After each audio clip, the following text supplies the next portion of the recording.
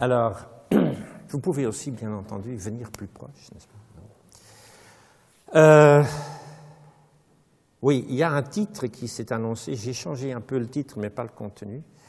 Euh, pour quelle raison? Parce que euh, le, le, web est en fait la première retombée du LHC.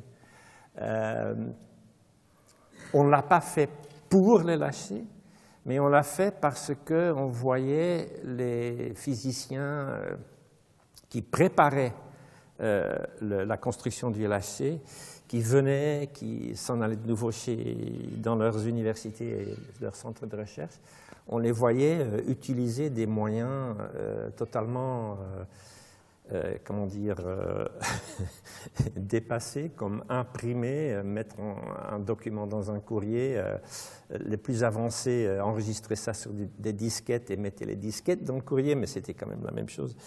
Et donc on, s'est dit, mais on a un réseau, alors euh, et, il y aura des, des, des, milliers des milliers de gens qui auront besoin de cette communication. Et on a déjà sur Internet tout, sauf une bibliothèque automatisée, donc on va essayer de faire ça. Et euh, c'était donc effectivement dans euh, le grand foisonnement de la préparation du LHC à, la fin des années 80. Donc, hein. Euh, mais, bon, euh, oui, cet, esprit du, CERN, euh, qui, pour moi, après, j'ai parlé avec beaucoup, beaucoup de, journalistes sur le CERN, etc. Et quand c'est arrivé, et pourquoi, et, qu'est-ce qu'il y a de spécial dans le CERN pour que ça arrive ici. et un de ces journalistes, je me souviens très très bien, il a dit une chose remarquable, il a écrit une chose remarquable. Euh, il a dit, c'est incroyable. Ici, il y a des gens qui changent d'avis face aux évidences. Et je me suis dit, euh, c'est pas ce qu'on devrait faire tout le temps, non? Je veux dire, il ne faut pas nier les faits, non? Il faut euh, quand même euh, aller avec ça. Mais apparemment, c'est pas normal, euh, là dehors, on préfère euh, les croyances, les idéologies politiques et autres, et donc on ne change pas d'avis euh, face aux évidences comme par exemple le réchauffement climatique et des, autres choses. Donc ça, c'est peut-être la caractéristique la plus profonde que j'ai rencontrée dans, ma vie d'ingénieur au, CERN. Je vais vous parler un, peu de l'histoire du web que certains de vous connaissent, euh, d'autres pas. Et euh, comme dans toutes ces choses, euh, il y a une longue préhistoire.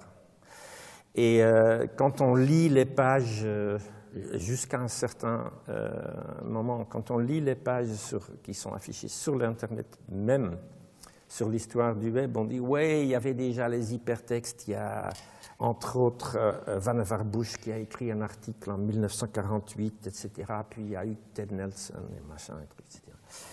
Eh bien, c'est encore avant ça, parce que euh, il y a des choses qu'on oublie et qu'on retrouve que des, décennies après. Et euh, j'ai honte de avoir découvert le Mundaneum dans mon propre pays natal que à la fin de l'année passée. Le Mundaneum, c'était quoi? Ben, C'était un, grand fichier. Euh, c'était une, personne qui, qui, voulait en fait faire un catalogue de tous les catalogues et cataloguiser toutes les publications et faire des liens vers, vers ça, mais avec des, fiches. Et il en a euh, rassemblé euh, à peu près 16 millions de fiches euh, bien entendu, les gens qui faisaient le travail, dans le temps, c'était que des femmes, n'est-ce pas? C'était comme ça.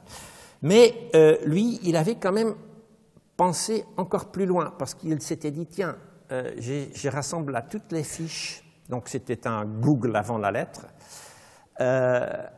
mais en fait, on a le téléphone, on a la radio, on a même la télé, et euh, on pourrait donc en fait, dans les bibliothèques, mettre des caméras et des téléphones, et moi je pourrais, moi, je pourrais regarder dans mon catalogue des fichiers, regarder que c'était là à la bibliothèque euh, XYZ à Berlin, téléphoner là-bas, allumer mon téléviseur et regarder le document à travers ça.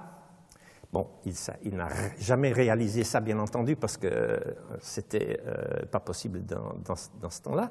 Mais si ça, c'est pas Google plus le web, je ne sais pas ce que c'est. Hein.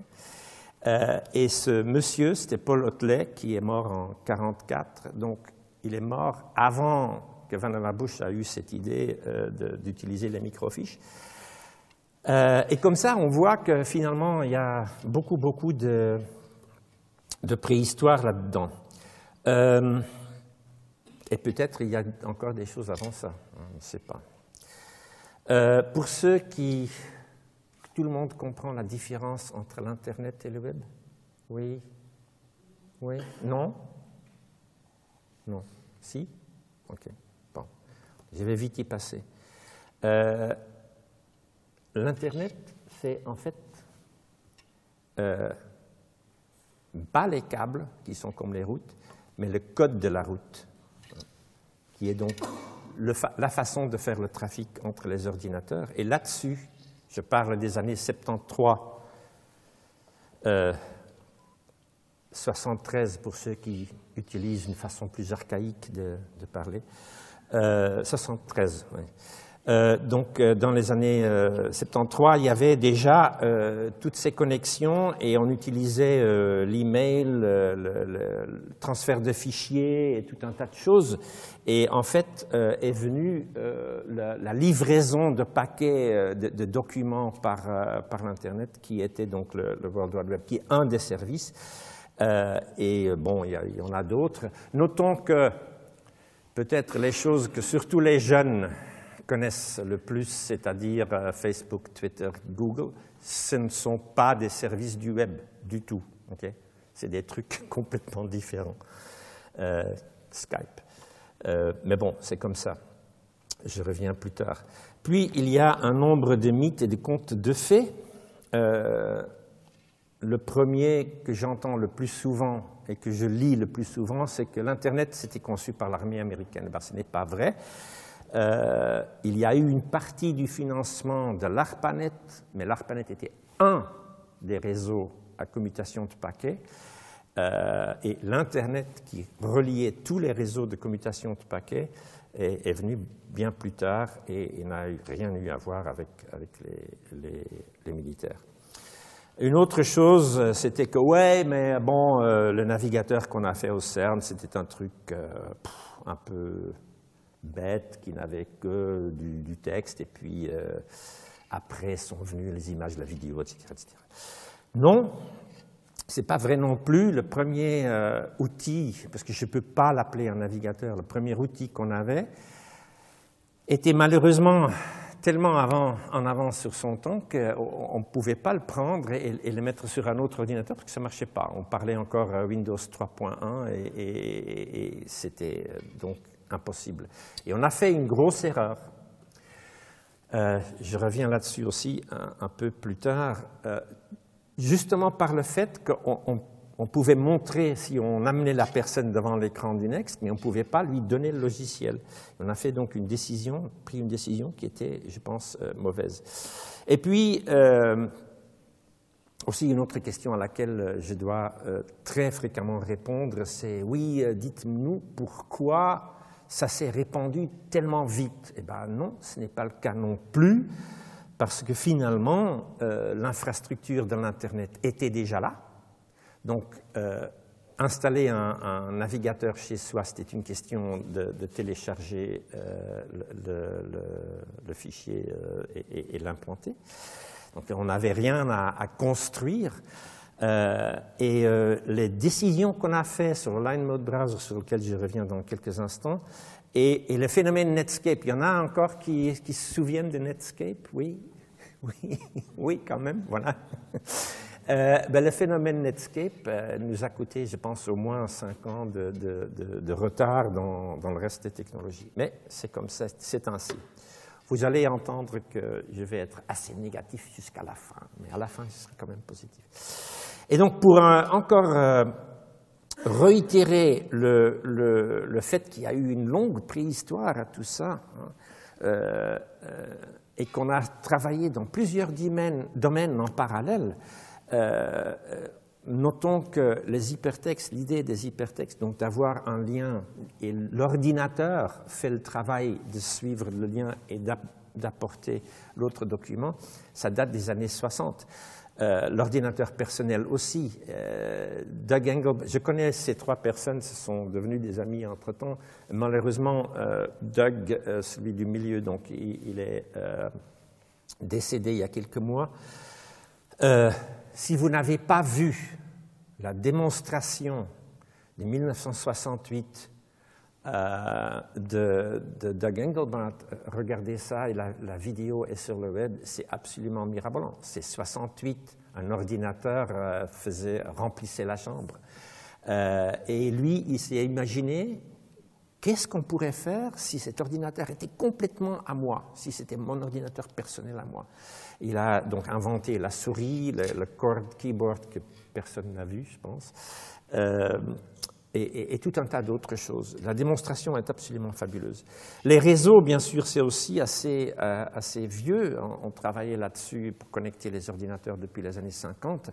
Euh, Louis Pouzin, qui, pour la première fois, a été reconnu dans le monde anglo-saxon que l'année passée, euh, avait construit des, des, euh, réseaux euh, en France, Cyclade entre autres, et c'est lui qui a en fait fait la base des commutations de, de TCP/IP, c'est-à-dire le UTP. je ne vais pas rentrer dans les détails. Et quand Surf et Can ont voulu faire un protocole qui serait utilisable sur tous les réseaux qui existaient, euh, c'est Louis qui a envoyé un de ses collaborateurs pour euh, un peu leur montrer ce qu'on avait fait ici. Euh, puis je ne vais pas lire à l'horizontale, mais là aussi, il y a pas mal de choses qui ont eu du succès et des choses qui n'ont pas eu de succès. Et donc ces, technologies convergent en 89 euh, ici au CERN avec Tim. Moi j'avais aussi une, proposition, je ne vais pas rentrer dans les détails, elle n'était pas basée sur l'Internet, la si. Donc je me suis joint à lui parce que je me suis rendu à l'évidence que son truc était meilleur que le mien. Euh, et puis, bien entendu, les gens veulent toujours avoir une personne et une invention. Donc si, vous pensez à, l'aviation, c'est les deux mecs aux États-Unis, mais en fait, il y avait des milliers de gens qui, faisaient des, choses. Mais ils ont eu quand même quelque chose qui était utile à, mémoriser. Alors, qu'est-ce que c'est euh, l'invention qui est vraiment au cœur du web? C'est-à-dire, je prends le web je j'ai dit, oui, mais ça, ça existait déjà avant, donc je le jette. Ça, ça existait déjà avant, je le jette aussi. Puis je laisse tomber les choses, et puis il, me reste une chose qui est vraiment euh, la chose fondamentale qui n'y était pas avant. Et ça, c'est l'URL. Euh, j'espère que tout le monde sait ce que c'est qu'un URL. Euh, c'est le truc que vous tapez ou que vous sauvegardez, c'est le lien. Et c'est la structure de ce lien. C'est l'idée d'avoir dit on va combiner le protocole, le serveur et une identification distante. Donc, c'est une identification qui sera interprétée par le serveur. Ce n'est pas moi qui décide, c'est le serveur qui décide ce qu'il va en faire. Et euh, ça, c'est la partie rouge. Et le fait que c'est le serveur qui décide ce qu'il en fait et comment il l'interprète, c'est ça qui est euh, le fort du, de l'URL, le fort du, web, combiné bien entendu avec euh, la définition du protocole et euh, l'adressage de la machine qui va le faire. Je vais aussi profiter de, l'occasion, comme j'ai déjà fait avec Nelson Engelbart et, Pouzin, de, de mentionner des gens qu'on mentionne peu souvent pour des raisons quelconques. Euh, la première est probablement celle de, la personne de Mike Sandel qui euh, malheureusement est, décédé aussi juste avant que tout a, bien foisonné. Euh, Mike était le, chef de, team euh, et c'est lui qui a en fait dit OK, bon, euh, ce n'est pas un projet pour lequel on a un budget, ce n'est pas quelque chose qu'on peut sanctionner parce qu'on doit travailler sur le LHC, tout va là-dessus. Mais bon, euh, on a des ordinateurs et des systèmes d'exploitation à, tester. Donc voilà un Next et euh, la machine en haut à droite. Et euh, vous allez faire une évaluation de ce système, pas de la machine, mais de ce, système. Et pour, pour, avoir quelque chose de vrai, vous pouvez travailler sur le web. Pendant une année, on a pu faire ça. Et euh, on a fait une proposition commune, etc., parce que la proposition originale de Tim, euh, bon. On a aussi choisi le nom World Wide Web. Pourquoi? Avant même d'avoir écrit ligne de code source du programme. Pourquoi? Parce que de toute façon, l'Internet était déjà là. Donc l'Internet était non seulement là, il était partout dans le monde. Donc ou bien ces systèmes réussissaient et liaient donc le monde entier, ou bien c'était complètement euh, à côté de la plaque. Et à la fin euh, de l'année, en quelques mois, ça n'a duré que quatre mois, on avait euh, un, système qui, que je ne peux pas qualifier de navigateur parce que c'était un navigateur-serveur éditeur en, en, un seul outil. Donc vous pouviez changer vos pages pendant que vous la lisiez, c'était la même chose, il n'y avait pas de différence. Comment est-ce qu'on a pu faire ça en quelques mois? Et la raison était simplement que le système de développement, les outils de développement de, logiciels dans le Next en 1990, enfin en 1988, puisque le système date de bien avant, était vraiment, vraiment incroyablement facile à utiliser, robuste, rapide, etc. Et ça, c'est dû à une autre personne que vous n'avez sans doute jamais vue. Euh, c'est Jean-Marie Hulot, qui, euh, lui, au début des années 80, était à Paris, s'était acheté un, Macintosh, mais le, petit bloc comme ça, et il trouvait ça absolument difficile à programmer il s'est donc construit son propre système. Et quand Steve Jobs a quitté euh, Apple pour fonder sa propre boîte Next à côté, il a euh, regardé à gauche et à droite, il a vu le système de développement de programme de Jean-Marie Hulot, euh, il a fait venir de Paris, il y a même des anecdotes là-dessus, et donc Jean-Marie a, fait cela. Et le résultat était que nous, après, on a su faire ce, système euh, en, deux, trois mois. Mais,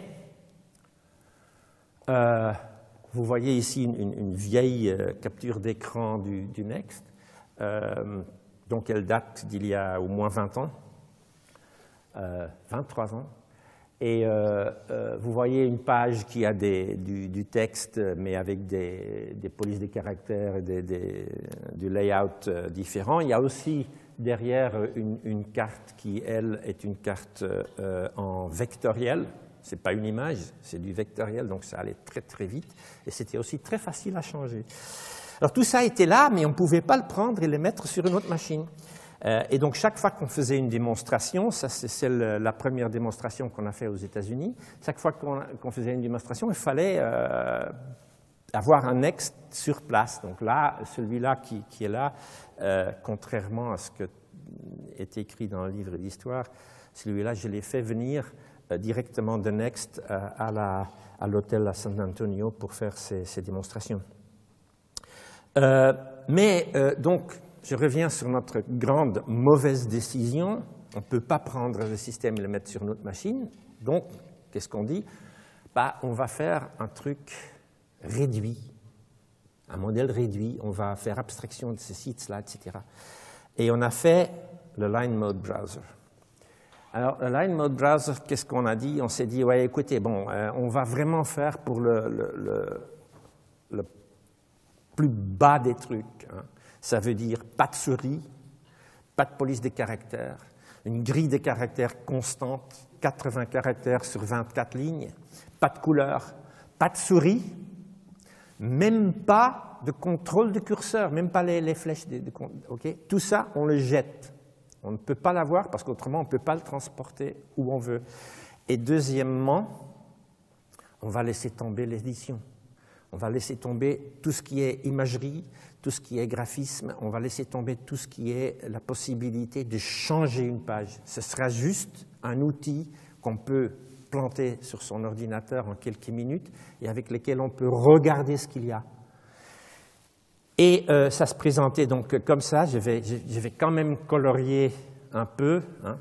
Donc, euh, les, les liens étaient les numéros qu'on affichait derrière euh, les, liens. Donc, euh, vous voyez là, par exemple, Activities 9. Donc, en bas, là où ça clignote, il fallait taper 9 et retour chariot, et puis ça allait chercher le reste. Euh, et bien entendu, qu'est-ce qui s'est passé? C'est qu'un nombre de gens ont dit... ça, ça ça s'était téléchargé des milliers de fois depuis notre serveur. Et qu'est-ce que les gens se sont dit? Euh, surtout les jeunes euh, impatients, euh, nous, on peut faire mieux. Et donc, au lieu de nous contacter et de dire, tiens, c'est intéressant cette technologie, est-ce qu'on peut, etc., non. Ils, il avait vu ça et puis ils se sont mis dans leur coin, ils ont bricolé des choses, mais partout et n'importe comment, n'importe quoi. D'où donc Netscape, par exemple, qui réduisait aussi tout à une fenêtre, sans édition, etc.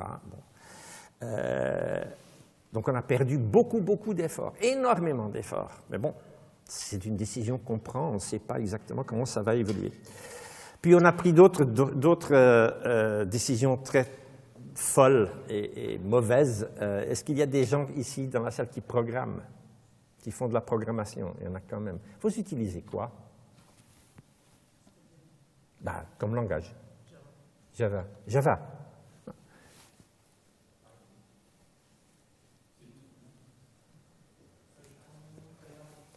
Tous des trucs qui ont une syntaxe qui date des années 69. Hein? C'est du C. C'est vieux. Oui, oui, oui, tout à fait. Euh, alors moi, j'avais euh, dit qu'il fallait un langage de programmation dans ce truc parce que clairement, juste mettre l'HTML avec les, balises, ce n'était pas suffisant. Mais je suis trop vieux, j'étais déjà trop vieux. Euh, la réponse des tout jeunes qui avaient 20 ans, 25 ans au maximum, langage de programmation, non. Il faut que tout soit déclaratif, jamais. Si on laisse un vide, le vide se remplit automatiquement et presque jamais avec de bonnes choses. Hein. Donc, qu'est-ce qu'on a maintenant? On a des, des horreurs, euh, surtout syntaxiquement, mais même de, conception et de, définition, on a des horreurs. Et on n'en a pas une seule, on en a un grand nombre. Hein. Et pour, pour faire un site correct aujourd'hui, il faut maîtriser tout ça. Euh, et, bon, ben voilà, alors euh, j'ai eu la même réaction pour les navigateurs stricts, je ne vais pas en parler parce que c'est un détail. Et je note, euh, j'ai dit que j'allais être négatif jusqu'au bout, je note avec grande satisfaction que 20 ans ou 23 ans après, on n'a toujours pas une norme pour la vidéo. Hein. et donc, on ne peut pas produire une vidéo et la mettre comme on peut faire une photo et mettre un JPEG parce que tout le monde euh, fait le JPEG. Non, ça ne marche pas. Il n'y a pas un format standard. Alors, comme j'étais donc un peu euh, plus vieux que les autres et euh, que je voulais m'appliquer dans d'autres domaines que la programmation, j'ai travaillé longuement avec le service juridique du CERN pour finalement être sûr que les autres gens hors du CERN pouvaient commencer à travailler sur le web sans se soucier d'éventuels problèmes de paiement, de brevets, etc. Et euh, le 30 avril 1993, on a mis tout ça dans le domaine public. Pas royalty free, hein? dans le domaine public, on a abandonné tout droit à la propriété intellectuelle. Mais ça ne concernait que ce qu'on avait là, donc peu. Mais au moins, les gens disaient, OK, bon, alors on peut au moins s'inspirer de ça et savoir qu'on n'aura pas de, problème. Puis pour ceux qui veulent se balader dans le bâtiment 1 qui est euh, là derrière, je crois, vous allez voir, vous pouvez voir là au rez-de-chaussée les corridors dans, lesquels on a travaillé. Ce n'est pas les bureaux somptueux, coloriés de Google, n'est-ce pas? C'est des bureaux de ce genre qui n'ont pas changé depuis. Euh, mais voilà, c'est comme ça ça c'est peut-être une deuxième caractéristique du travail au CERN. Euh, on est surtout concentré sur ce qu'on fait et pas tellement sur le fait que c'est beau autour de nous, qu'il y a une moquette, euh, etc. Euh, je rappelle vite les, les, rôles du CERN dans la création du web. Donc on a fait la première proposition, on a fait les premiers logiciels, tout ça c'était très tôt. Euh, euh, et puis la, mise dans le domaine public en 93. Et euh, à un certain moment, j'ai dit il faut une conférence parce qu'il faut rassembler tous les gens qui sont partout parsemés dans le monde pour qu'ils se parlent. J'ai vu trop de, problèmes avec les gens qui ne se parlent pas. J'ai mis au point la, première, lancé la première conférence. Et, cette série continue. Il y a la 14e, non, non, la 24e, non, enfin, euh, qui, va se dérouler en mai prochain.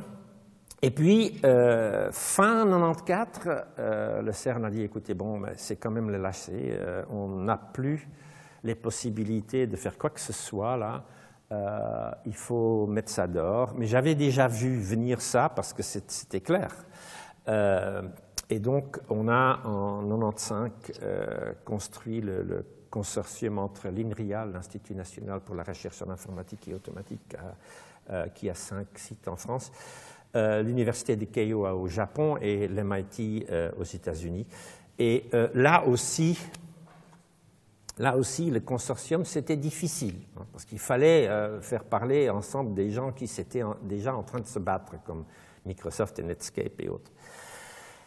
Et euh, ça, c'est difficile à faire pour une bande de très jeunes gens qui euh, sont déplacés de leur euh, environnement européen, qui vont tous avoir des bureaux à MIT ou à INRIA et, qui sont un peu perdus. Et donc, heureusement, il y a eu Jean-François Abramatique de, l'INRIA qui a abandonné son poste de chef de, développement pendant deux ans et qui est allé euh, à l'MIT pour, euh, disons, mener euh, la bande de chats qui étaient les, développeurs là-bas. Et j'ai le plus grand respect pour Jean-François parce que je pense que sans lui, on n'aurait pas eu le consortium et, sans lui, on n'aurait donc pas eu les normes, c'est-à-dire ça aurait été totalement fragmentisé. il y avait d'autres systèmes qui était beaucoup plus performant, qui était là depuis belle lurette, qui, euh, qui était plus joli, qui avait beaucoup plus de fonctionnalités. Alors pourquoi est-ce que le web les a tous aplatis et euh, euh, tués? C'est parce que le web, simplement parce qu'il est le plus con des hypertextes qui existent, il n'y a qu'une seule fonction, c'est cliquer il ne souffre pas de l'effet de l'échelle, et tous les autres le faisaient. Donc, malgré le fait que, Hyperwave était très bien pour un campus d'une université, c'était impossible de faire du Hyperwave à l'échelle de la planète, alors que le web, ça allait. Donc c'est l'effet d'échelle, je pense que les gens savent à peu près ce qu'est l'effet d'échelle, qui a euh, fait cela. Vous pouvez lire euh, euh, les détails dans, ce livre qui est traduit en en italien et en allemand aussi. Et ça, ce sera la fin pour mon chapitre sur l'histoire. Alors l'évolution, bon, ben, au début, on a voulu faire des, choses de ce genre, c'est-à-dire de lier les, les serveurs qui étaient donc un peu comme des, des boîte à trésors avec des liens et donc pouvoir naviguer de l'un à l'autre et pouvoir découvrir les choses. Il y a un grand avantage à ça, c'est qu'effectivement, on peut euh, faire comme ce qu'on fait euh, dans un centre commercial, c'est-à-dire on va euh, où on veut et on, retrace son chemin, on, trouve des choses, etc. Il y a un grand désavantage à ça, c'est quand il y en a beaucoup, beaucoup, ben, ça ne marche plus parce qu'on ne sait pas exactement comment les trouver. Alors on avait prévu une, euh, une, indexation qu'on appelait la, bibliothèque virtuelle, mais en fait ce qui s'est vraiment passé, c'est que euh, euh, ça s'est fragmentisé. On a toujours les serveurs, mais on n'a presque plus de lien entre les serveurs, ou peu en tout cas, parce que tout le monde passe d'abord par un moteur de recherche. Euh, et, voilà. Et maintenant, c'est encore pire parce que certaines publications, bon, pas pour moi, probablement pas pour vous non plus, mais pour un grand nombre de, jeunes et, d'autres gens qui sont venus tard euh, au web, euh, tout se trouve derrière un mur impénétrable, c'est-à-dire ça se trouve à l'intérieur de Facebook, à l'intérieur de Twitter, etc. Et donc, euh, faire des liens euh, là et aller regarder là-dedans, c'est moins facile. Et donc, l'index, euh, l'indexation n'est pas la même chose. Bon, moi, de toute façon, je, déteste ces, réseaux sociaux parce qu'il y a un autre problème avec. Mais ça, c'est la situation dans laquelle on vit et, qui va... Je ne sais pas ce que ça va devenir. Il y a un autre problème, c'est que le web ne souffre pas de l'effet de l'échelle. Mais un index, un moteur de recherche, oui, parce qu'il doit avoir tout en un seul endroit. Autrement, vous ne pouvez pas répondre à la question. Il vous faut toutes les informations. Il faut reconstruire le Mundaneum, et pas avec 16 millions de fiches, mais énorme. Alors vous pouvez bien sûr copier cela. Vous pouvez en mettre un en Allemagne, un autre en France, un autre, euh, je sais pas, en Californie, etc. Mais c'est un blob unique. Et donc là, il y a un effet d'échelle.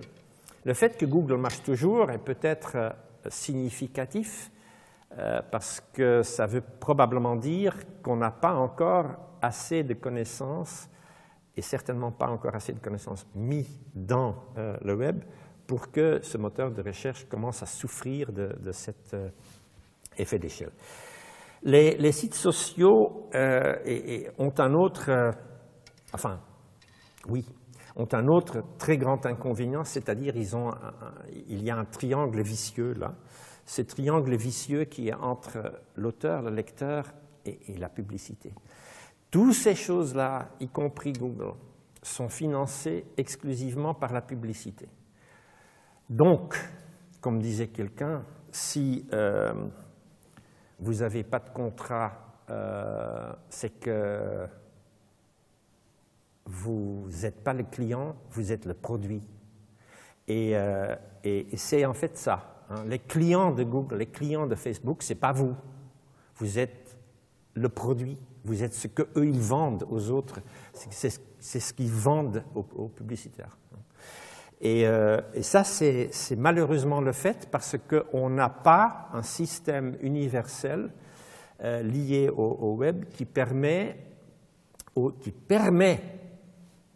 pas d'obligation, mais qui permet aux gens de payer pour l'information qu'ils consomment. Ce qui veut dire que vous ne pouvez pas être euh, indépendant, vous ne pouvez pas avoir un contrat parce qu'il n'y a pas les moyens de le faire. Et ça, c'est pour moi une, des peut-être le plus grand problème de, l'Internet aujourd'hui, c'est le, fait que vous n'avez avez pas de contrat. Ce n'est pas bilatéral, c'est unilatéral. Vous pouvez que cliquer sur « j'accepte ». Vous n'avez pas d'autre choix. Vous, utilisez Google Earth? Qui? Tout le monde. Hein? Vous avez vu que récemment, vous avez dû cliquer sur « j'accepte » le fait qu'eux, ils installent sur votre ordinateur un truc qui va faire les updates, les, installations, sans que vous puissiez euh, dire non, je ne les veux pas. Mais vous n'aviez pas d'autres moyens. Alors il y a tout un, tas de problèmes qui, sont liés à l'Internet, pas au web, mais vraiment à l'Internet. C'est bien entendu la sécurité, l'identité, la traçabilité. Hein, bon, on commence à, faire des, choses, mais les gens n'aiment pas. Et, les paiements, c'est-à-dire donc la, rémunération directe pour l'information. Pourquoi ce n'est pas là? Parce que l'Internet a été conçu dans les années 70 pour le monde académique où il n'y avait pas de spam, il n'y avait pas de phishing, il n'y avait pas de, ça n'existait pas. Euh, c'était une toute mince petite couche de la, euh, société qui, avait ses propres euh, règles de comportement implicites. Et bien sûr, une fois que c'est dans le, pour tout le monde, il y a des gens qui s'infiltrent. Mais j'ai aussi dit que j'allais finir positivement. Alors oui, il y a du positif parce que quand même, hein, il y a des choses comme euh, la Wikipédia. Il y a, quelqu'un qui a déjà utilisé Kickstarter Non? Oui euh, donc il y a des, choses comme ça qui, sont vraiment positives, des, choses qu'on n'aurait pas pu faire avant, qu'on n'aurait vraiment pas pu faire avant et qui sont euh, extrêmement positives. Donc moi, je, fais une donation à Wikipédia chaque année, pas seulement pour le déduire de mes impôts, mais simplement parce que euh, euh, bien que je suis éditeur aussi, j'apporte ma petite pierre de temps à autre, euh, c'est quelque chose qui doit pouvoir continuer à exister sans avoir besoin de la publicité. donc on espère.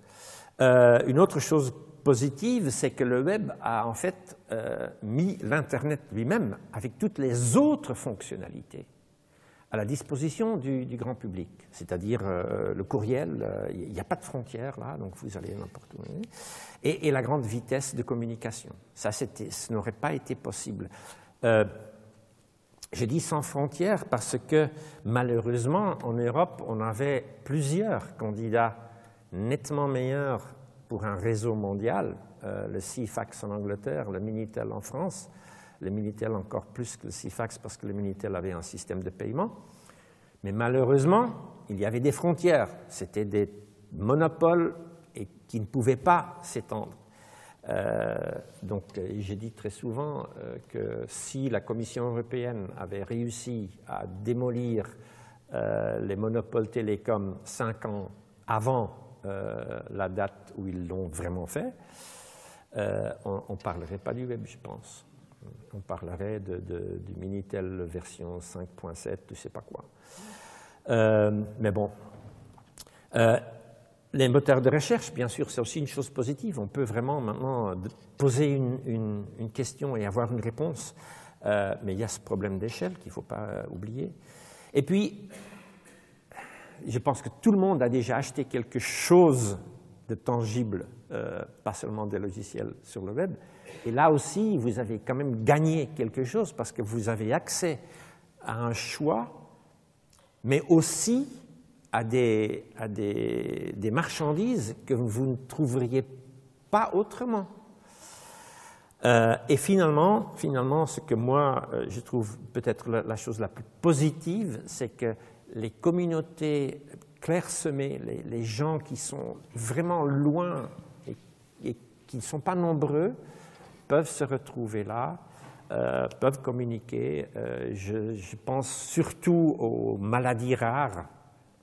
C'est l'application médicale euh, évidente, mais aussi dans la science. Il y a des gens qui, font des études et il y en a sur un sujet très précis, il y en a peut-être 10 dans le monde. Bon, maintenant, ils peuvent mieux se retrouver. Voilà, euh, je vais quand même dire deux mots sur euh, la nature de l'informatique parce que c'est un, problème euh, qui est lié à tout ce que je viens de dire. on me dit souvent, il n'y a, pas assez de, très jeunes dans la, dans la, salle, mais on me dit toujours, oui, mais vous savez, bon, nous, on ne sait pas manier les, téléphones mobiles et les les tablettes et les ordinateurs, etc. Mais les enfants, euh, ils y vont, c'est incroyable, ils connaissent tout. Oui, ben, c'est un problème de génération. Non, ce n'est pas un problème de génération parce que, bien entendu, quand quelqu'un me dit ça, je dis, OK, je vais vérifier ça. Hein. je vais voir s'il y a de l'évidence pour ça. Et effectivement, les tout jeunes savent très bien sur quel bouton ils doivent appuyer. Hein? Mais ils ne savent pas ce qu'il y a derrière. Ils ne savent pas mieux que quelqu'un d'autre ce qu'il y a derrière. Ils ne savent pas mieux quelles sont les implications s'ils poussent sur bouton truc ou, bouton mouche. Euh, et chaque jour, j'ai des, surprises euh, de ce genre où je me dis, tiens, mais je ne savais pas que si j'appuyais là, il allait aussi euh, prendre ces informations-là et les charger là, parce que ça, ce n'était pas le but. Hein. Donc ça, je pense qu'il n'y a pas de problème de génération. et les gens n'ont vraiment pas compris, ni les parents, ni les politiciens d'aujourd'hui. Je, ne cesse de répéter ça depuis le tout, tout début. Au début de la semaine, euh, il y a eu une loi. Vous avez entendu parler de cette loi en Californie? Non? Oui, certains. Euh, qui euh, c'était pour éviter que les jeunes postent des, photos incongrues et puis qu'après ça leur fasse, enfin ils regrettent et puis voilà. Donc il a dit ok il faut absolument donner à tous les gens sous, enfin qui ne sont pas en, âge de d'effacer ce qu'ils ont par mégarde mis sur le web. Bien que, bien entendu, il y a toujours des, boutons avec lesquels on, peut le faire. Et, ce qui m'a surpris, c'est que le, le, chef du groupe qui a poussé pour cette législation a dit c'est un pas très important. Alors que moi, je ne comprends pas. Je veux dire, c'est ridicule parce que ces trucs-là, on peut les copier. Hein. On peut faire des captures d'écran, mais on peut aussi les glisser, on peut les, copier. Ils sont de toute façon sauvegardés. Hein. Ne vous inquiétez pas, euh, votre serveur euh, euh, Facebook ou autre ne va jamais jeter quoi que ce soit. Hein. D'ailleurs, il n'a pas le droit. Il doit les garder pour 10 ans, des choses comme ça. Puis, n'importe qui peut copier n'importe quoi, donc vous avez le droit peut-être d'effacer votre photo que vous avez mise, mais pas celle dans une seconde ou deux.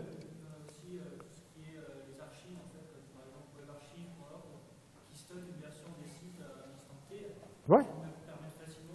Ouais. Voilà. Et de toute façon, ça peut se propager n'importe comment. Et euh, il y a même des systèmes maintenant qui essayent de ne pas laisser faire des, captures d'écran. Hein. Par exemple, je mets un DVD là-dedans, j'ai le DVD, je ne peux pas faire une capture d'écran. Oui, mais je peux toujours le photographier. Et puis, et puis de toute façon, euh, il y a d'autres logiciels qui contournent tout ça. Hein.